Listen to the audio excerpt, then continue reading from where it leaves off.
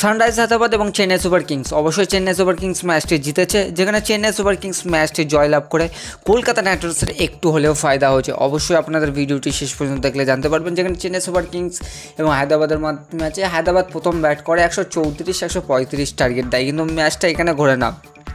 Rahul তিওয়াটি out হওয়ার পরে ভাই একের পর এক জাতেজার বলে হায়দ্রাবাদের ভাই আউট হয়ে যায়। যেখানে নয় ওভারে সত্তর রান এক উইকেট ছিল।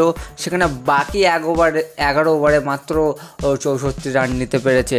কিন্তু ভাই এই ম্যাচটাও চেন্নাই মানে ভাই লাস্ট পর্যন্ত নিয়ে গেছে। মানে প্রায় উনিশ ওভার খেলেছে, তার মধ্যে একশো আটত্রিশ রান তুলেছে।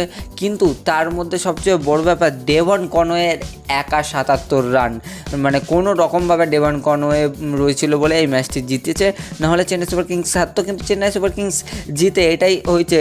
আপাতত চেন্নাই, আজকে যদি হায়দ্রাবাদ জিতে যেত, হায়দ্রাবাদ কিন্তু কলকাতা নাইট রাইডার্সের ওপরে চলে যেত।